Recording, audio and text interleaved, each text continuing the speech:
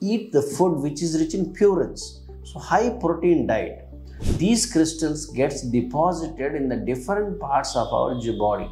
Hi viewers, this is Dr. Aditya Somayaji, Senior Consultant Orthopedic Surgeon, foot and ankle surgery specialist. So now we'll speak about something called as great toe pain and uric acid. Often people are coming to me nowadays with a lot of pain in their great toe or one side of toe which suddenly starts suddenly starts swollen, suddenly gets painful.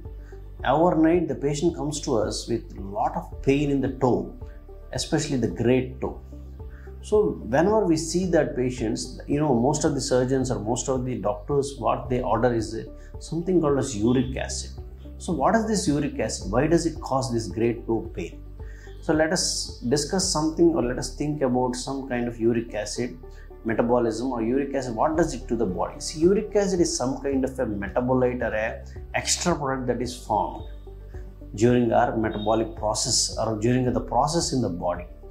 The problem with this uric acid is in our body and our system, we don't have a good mechanism to excrete or spill off this uric acid from our body unlike other toxins where liver can do a job kidney can do the job our skin can do the job like that uric acid is a pro- is a is a product which cannot be easily expelled from the body we don't have a separate system we don't have a separate enzyme or whatever it is to break it down and spill it unlike our lower animals which has this enzyme so uric acid tends to accumulate in the body when you have some specific problems.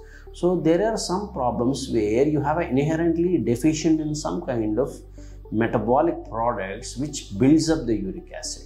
We have something a deficiency in kind of processing the uric acid and some people which who are obese or overweight can will tend to accumulate uric acid because of the because of the these uh, metabolic pathways which I have told. So once uric acid gets accumulated more than what we have in the body, they, they the uric acid produces something called a small crystals.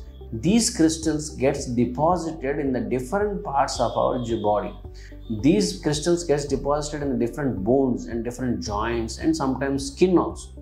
So these depositions can cause severe pain in the foot especially in the great toe, something called as gout.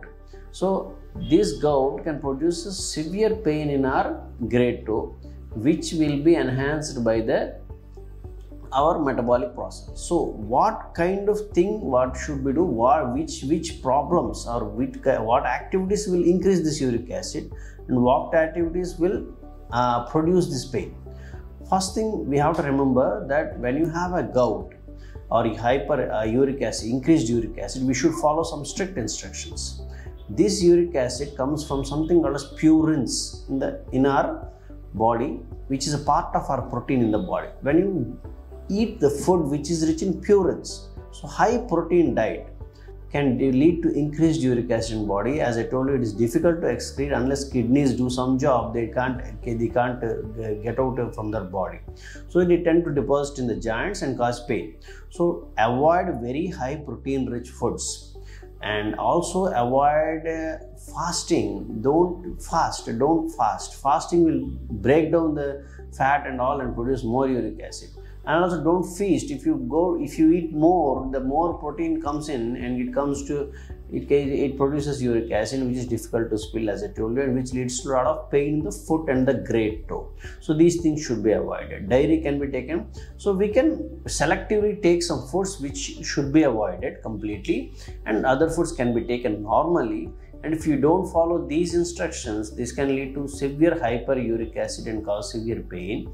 And also there is some good medication nowadays which can control the uric acid completely. Improving your body weight or losing the body weight is extremely important. If you have a hyperlipidemia or cholesterol this can also cause uric acid accumulation. So you have to control your cholesterol and lipids. Use the proper medication for that.